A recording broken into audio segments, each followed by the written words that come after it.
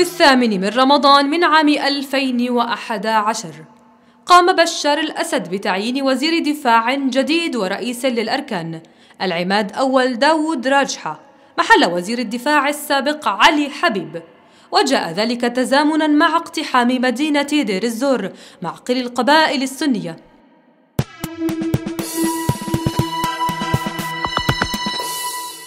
في الثامن من رمضان من العام نفسه أعلنت وزارة الخارجية البحرينية في بيان لها أن المملكة تتابع تطورات الأحداث في الجمهورية العربية السورية الشقيقة وأنه انطلاقا من علاقاتها الأخوية ومسؤولياتها التاريخية.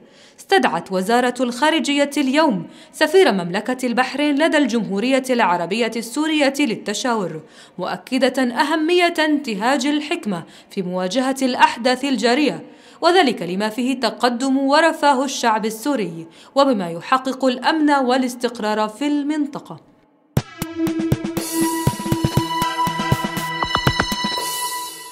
في الثامن من رمضان من العام نفسه استشهد معا عودات شقيق المعارض هيثم مناع العودات.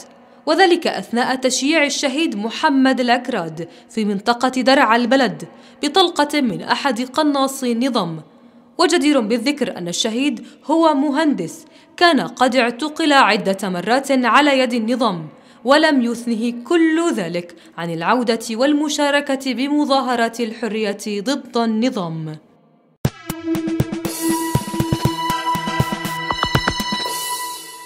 في الثامن من رمضان من عام 2012 أعلنت إخلاص بدوي عضو البرلمان السوري انشقاقها عن النظام السوري وذلك عقب وصولها إلى تركيا لتكون بذلك أول نائب في البرلمان ينشق عن النظام منذ بدء الثورة. وقد أوضحت أنها انشقت بسبب أساليب القمع والتعذيب الوحشي بحق الشعب الذي يطالب بأدنى حقوقه. وكانت السلطات السورية قد اختارت إخلاص بدوي وهي أم لستة أطفال ومسلمة سنية لتترشح نائبا في البرلمان عن فئة العمال والفلاحين وهي عضو في حزب البعث الحاكم ورئيسة سابقة للاتحاد النسائي في حلب كما أنها عضو في أربع لجان في مجلس الشعب.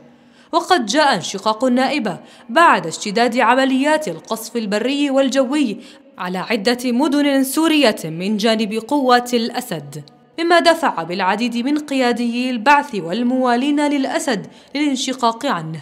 منهم نواف الفارس وقبله مناف طلاس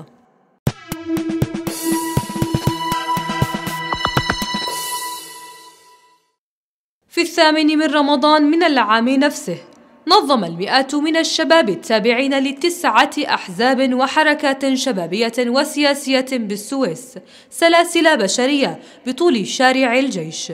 انتهت بوقفة احتجاجية بميدان النمسا وذلك للاحتجاج على المجازر التي يتعرض لها العرب والمسلمون في كل من سوريا وبورما. وندد المشاركون بالمجازر اليومية من قتل الأطفال والنساء وهدم المنازل وقصف دور العبادة مستنكرين انتهاكات حقوق الإنسان في البلدين ومطالبين باتخاذ إجراءات عاجلة لمساندة الشعب السوري ووقف التصفية العرقية التي تمارس ضد مسلمي بورما.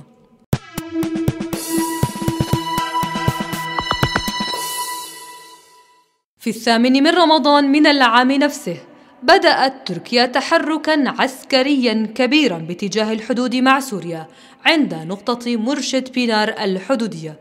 وقد قامت مركبات مدرعة وبطارية صواريخ بالتمركز عند النقطة صفر من الحدود. وذلك استكمالا للتحركات العسكرية التي زادت في الأيام الأخيرة في الوحدات الحدودية التابعة للكتيبة الحدودية الثانية الموجودة في قرية مرشد بينار بمحافظة شانلي أورفا جنوب تركيا. وقد جاء هذا التحرك بعد توتر شديد شهدته العلاقات السورية التركية بسبب الأحداث التي تشهدها سوريا. فرضت فيها تركيا عقوبات على سوريا وردت دمشق بالمثل.